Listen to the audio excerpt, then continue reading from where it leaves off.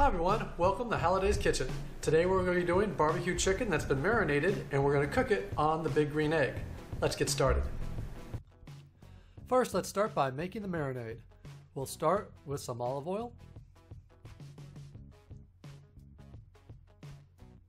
And then some kosher salt, followed by some paprika, cumin, a little cayenne pepper to your taste, as hot as you want it. A little bit of chopped garlic. I go ahead and use the bottled garlic because it's easier. Some chopped onions. Some parsley. And some fresh cracked pepper. And of course, wouldn't be complete without a little beer. And, well, just don't let the beer go to waste, so. Give it a little mix and uh, let it get happy and then we'll go ahead and we will get our chicken ready for the marinade. Go ahead by trimming the chicken. I like to get those little bits of fat, those little veins, uh, one vein of fat out of there, and any left that the uh, that they left in the butchering process. So I go ahead and clean off as much fat as I can uh, out of the chicken. And I like to go ahead and cover them with cellophane and pat them out so they're the same size so they cook evenly. Then we're going to go ahead and put the marinade in with the chicken while that's getting happy, let's make a barbecue sauce. Starting off with some tomato paste, and then some maple syrup from Vermont or Canada, preferably. A little bit of red wine or white wine vinegar, whatever you have on hand, onion and garlic powder. Some kosher salt, a little chili powder, and some liquid smoke. Exact details are in the description below.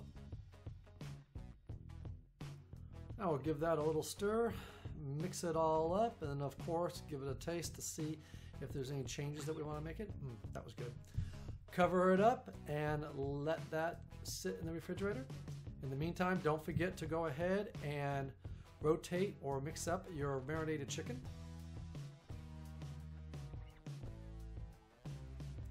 And now we'll get the grill going, the big green egg with the lighting up the lump charcoal until it's kind of volcano hot. And now we'll add some wood chips. I'm using hickory here, just add it on top of that little inferno and get it till it's nice and smoky.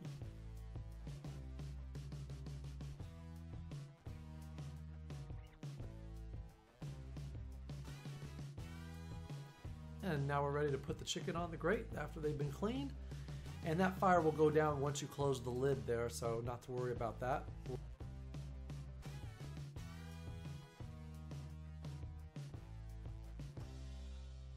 I like to keep the egg at about 375 when cooking chicken.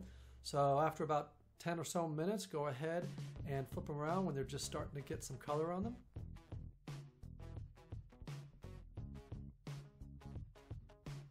And after another eight or so minutes, I'll go ahead and check the temperature. When they're just getting close to where I want them to be, I'm to go ahead and put that barbecue sauce that we created over the side and then go ahead and flip them over to start getting some uh, caramelization on them.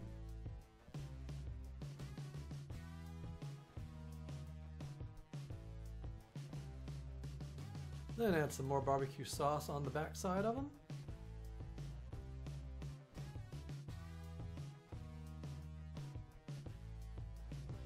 And once they reach the desired temperature, go ahead and take them off and go ahead and let them rest for a little bit and get them ready for plating, which we have here. And as you can see, we got some delicious, tender barbecue chicken cooked on the big green egg with some homemade barbecue sauce. Thanks for watching everyone, and please subscribe for some more videos coming soon.